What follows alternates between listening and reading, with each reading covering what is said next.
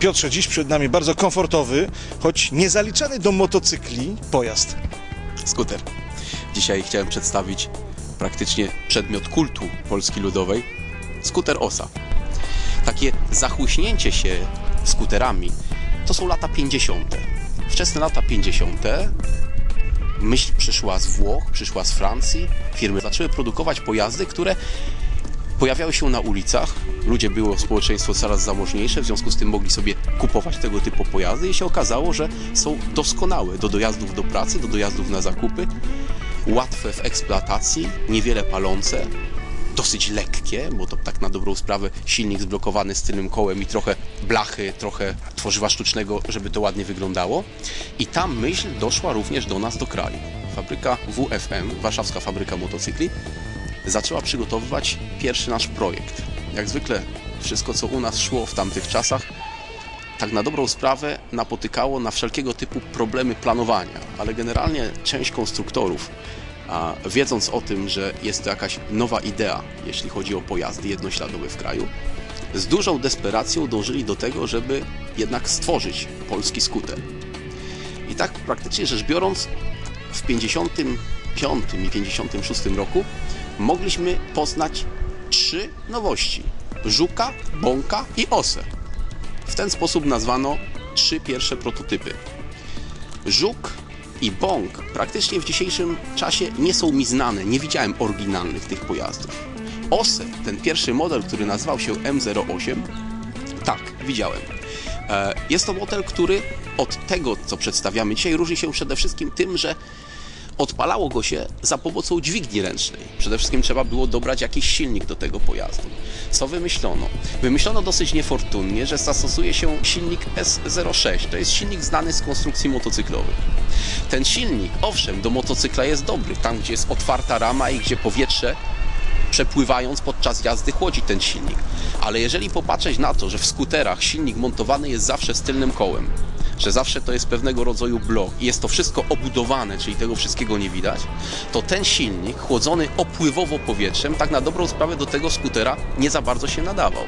Mimo wszystko powstała pierwsza wersja skuteru, była to wersja nazwana M50 i praktycznie rzecz biorąc w 1959 roku pierwszy skuter takiej serii informacyjnej, czyli początku produkcji, zjechał.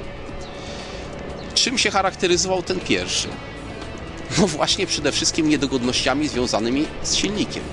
Jeśli chodzi o porównanie tego naszego skutera z tym, co wtedy było dostępne, skuter czeski, skutery włoskie, skutery francuskie, to powiem Wam, że nie mamy się w zasadzie, oprócz tego niefortunnego silnika, czego wstydzić. Pierwsza wersja M50 osiągała prędkość 80 km, ten nowszy M52 osiągał nawet 85 km na godzinę. Z silnikiem 175 miała 8 koni mechanicznych, z silnikiem 150 miała 6 koni mechanicznych.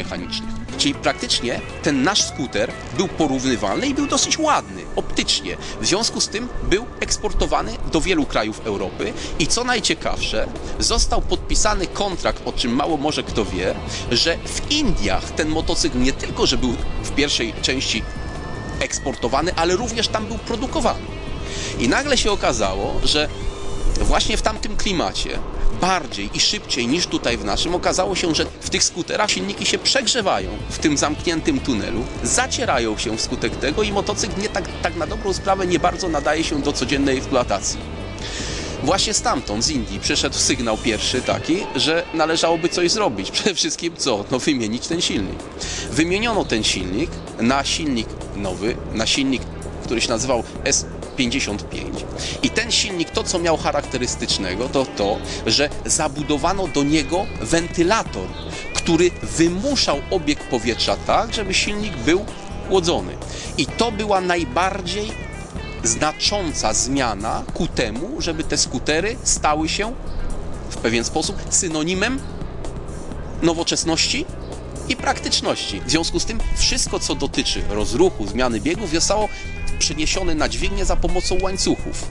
Dźwignia w osie, dźwignia zmiany biegów, w tym, że ma przód i tył, jest niezwykle wygodna prowadzeniu. Mało tego, to, że jest element łańcucha, który powoduje przeniesienie napędu z dźwigni na silnik, daje pewnego rodzaju miękkość i wygodę w włączaniu biegów. Bynajmniej to przełożenie przez w cięgno nie spowodowało tutaj gorszych właściwości, a raczej lepsze właściwości przy przełączaniu biegów.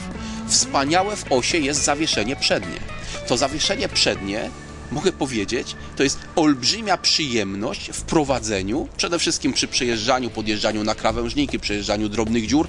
To zawieszenie dzięki swojej niezwykłej miękkości wyłapuje wszystkie nierówności drogi, tłumiąc je doskonale. Rewelacja. To po prostu trzeba spróbować, jak się osę prowadzi. Według mnie motocykle tego typu z tym zawieszeniem są niewygodne w ekstremalnych warunkach. Jeśli chodzi o dostęp do niektórych podzespołów, bardzo fajnie zbudowano w osie przednią klapkę, tak żeby można by było podejść do najważniejszych elementów instalacji elektrycznej i do licznika. Jest jedna gałka, można okręcić, można zaglądnąć. Jeśli chodzi o tankowanie, nie ma wlewu paliwa widocznego z wierzchu. Trzeba unieść kanapę, na której się siedzi. Jest to kanapa wygodna, dwuosobowa, zupełnie spokojnie można jeździć w dwójkę na tym pojeździe. Pod spodem znajduje się zbiornik, e, który wystarcza na długo. Dlaczego? Dlatego, że one były bardzo ekonomiczne, jeśli chodzi o zużycie paliwa. Skuter był dość drogi, kosztował 16 tysięcy złotych. To było w zamyśle narzędzie do dojeżdżania do pracy, do powszechnej eksploatacji, ale niestety za drogie i dostępne tylko dla tych, którym lepiej się wiodło. Ten skuter, praktycznie rzecz biorąc, w tej nowej wersji M52 był produkowany już w oparciu o nowe technologie, czyli tylna obudowa tego skutera była robiona z żywic epoksytowych w, w kompozycie z włóknem szklanym. Ze względu na to, że były eksploatowane, a nie stały gdzieś po piwnicach, po garażach, dotrzymały się do naszych czasów z różnymi usterkami przede wszystkim tej obudowy. Krótko mówiąc, odrestaurowanie takiego pojazdu, mówię o samej obudowie bez remontu silnika, to jest wydatek rzędu 6 tysięcy złotych.